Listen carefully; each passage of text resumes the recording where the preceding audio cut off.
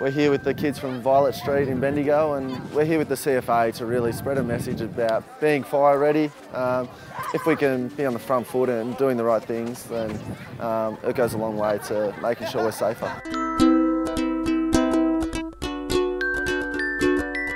I grew up in Bendigo, just around the corner, so I lived in Strathdale. With what happened a couple of years ago with Black Saturday, it probably affected a lot of people.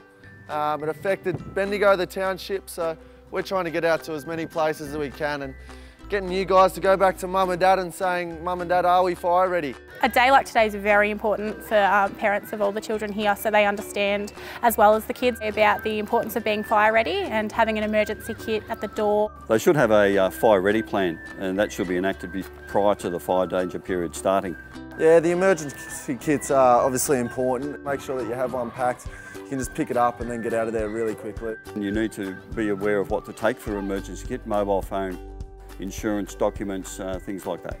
Be aware of what is going on in your own environment. Emergency warnings that uh, are available on CFA's Facebook page, Twitter, the ABC local radio will also broadcast emergency warnings.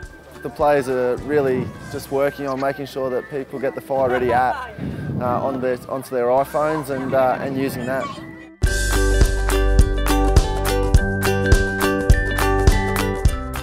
To get the AFL and the CFA together in, in our school was really significant, um, meant a lot to our community, especially with Joel, Joel being a local boy, so it really shows the kids that it's an, it's an important thing that he's promoting and that it's, it's meaningful to him.